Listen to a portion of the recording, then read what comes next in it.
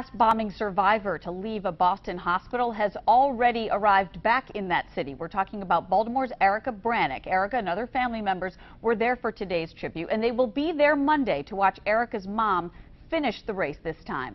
Our Deborah Weiner will be in Boston for the marathon with Erika. She joins us now live in the studio. And Deb, Erika Brannock is one remarkable woman. Uh, you said it. People who know Erika Brannock describe her as one in a million, which she will literally be at the marathon. One in a million spectators who, like others heading to Boston, did not need to be convinced to return.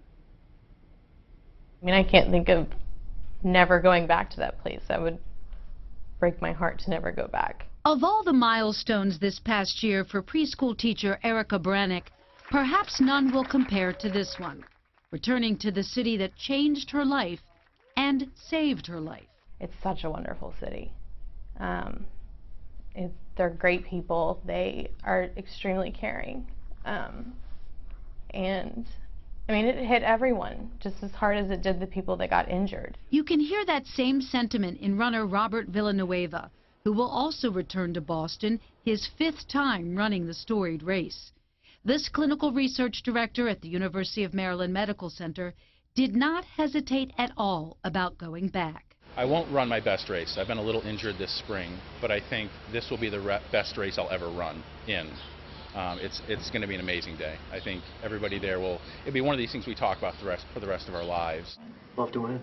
Josh Levinson, who owns the Charm City Run stores, says more local runners have wanted to train this year for Boston, even in a winter that made training difficult. If it's possible, it's even twice as attractive now.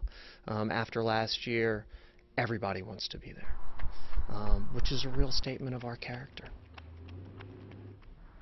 Now, Eric and her family will be visiting this week with whom she calls the angels of her recovery, and that includes a visit to Beth Israel Deaconess Medical Center on Friday and the physical therapy unit. Look